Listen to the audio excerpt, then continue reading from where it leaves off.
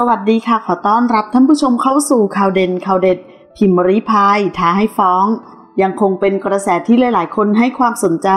สำหรับเรื่องราวของนักร้องสาวเจนนี่ได้หมดเธอสดชื่น หลังจากก้าวเกริกพลออกมาแฉว่าเจนนี่โกงค่าตัว ไม่ให้ส่วนแบ่งตามที่ตกลงกันไว้ จนคนในวงการบันเทิงต่างออกมาเตือนเจนนี่ในฐานะรุ่นพี่ รวมถึงนักร้องสาวแคนดี้รักแก่นกับแม่ค้าสุดแซ่บอย่างพิมรี่พาย จนกระทั่งวันที่ 26 สิงหาคม มีเฟซบุ๊กรายหนึ่งระบุว่า เป็นสายทนาย ฝากบอกแคนดี้พิมรี่พาย เตรียมรอหมายสารได้เลย ซึ่งคาดว่าจะฟ้องเรื่องไลฟ์สด พูดถึงประเด็นที่กำลังเป็นกระแส